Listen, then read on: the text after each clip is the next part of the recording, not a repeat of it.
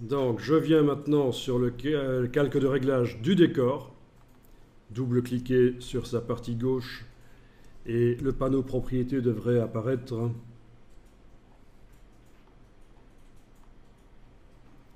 Bien. Donc j'ai déjà fait un réglage de courbe euh, pour la luminosité, puisque ça attaque les trois couches en même temps, rouge, vert, bleu. Mais je vais euh, aller maintenant casser l'équilibre euh, sur chacune des couches, de manière à modifier les choses. Rouge, vert, bleu.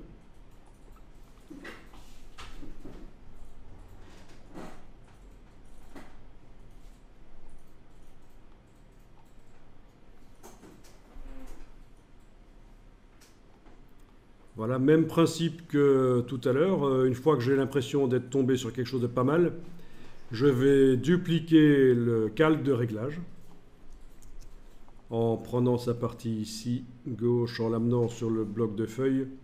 J'enlève l'œil en face de l'original, parce que sinon les deux se combinent et ça ne va pas. Et je continue euh, à rechercher. Notamment, euh, je peux ici euh, travailler sur le RVB. D'accord?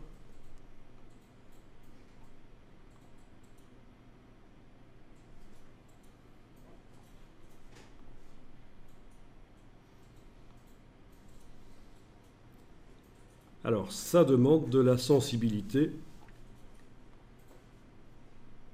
Ça n'est pas évident. Ça demande d'être observateur euh, du monde qui nous entoure et, de des couleurs pour arriver à quelque chose de cohérent. Il faut être devenu euh, quelque part un spécialiste euh, des couleurs. Vous êtes un obsédé des couleurs. Quand vous êtes sur le trajet du bus, vous regardez par la fenêtre les couleurs, les contrastes et tout. Voilà. Non, mais ce qu'on dit, c'est que quand on fait beaucoup de retouches euh, d'images, il ne faut pas euh, rester trop longtemps, euh, il ne faut pas le faire trop longtemps de suite.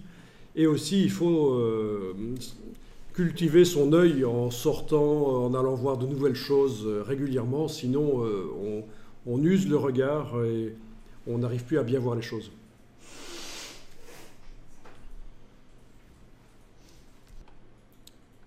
Et alors, il faut aussi revenir euh, de temps en temps sur le travail, euh, ne pas euh, rester trop longtemps dessus, l'enregistrer et passer à autre chose, et puis revenir dessus avec un, regard plus neuf. Et voilà. C'est pour ça que c'est intéressant de faire plusieurs travaux différents en parallèle, plutôt que de les faire les uns à la suite des autres. Vous serez beaucoup plus productif en retouche d'image ou en quoi que ce soit d'ailleurs peut-être en n'y consacrant pas euh, trop de temps de suite et de faire à la chaîne, euh, euh, je, fais un travail, puis quand il est fini, je commence l'autre. Non, il faut peut-être mieux faire les choses en parallèle, ce sera peut-être plus productif à la fin.